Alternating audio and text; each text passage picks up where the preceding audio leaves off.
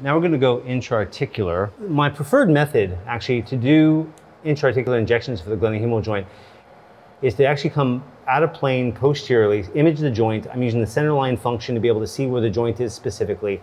I'm really right up against the acromion. And what I'm gonna do is I'm gonna line up my needle and I'm gonna see that my joint is essentially two and a half centimeters away based off the image here. So I know that I've got to go about two and a half centimeters, kind of pre-plan where I'm going to go, and then basically enter at the center line in the same plane as my probe. And then once I get into the appropriate area, I can actually do the injection of fluid. I'm actually right there. And that's part of the problem though with this. I'm moving the tissue to make sure you can see I'm actually in the joint, but I'm actually in the joint. And you can actually see my needle there in the middle of the joint, which is sometimes hard to see, but it is there. Yeah. But this is the easiest, I think, for intra-articular injection.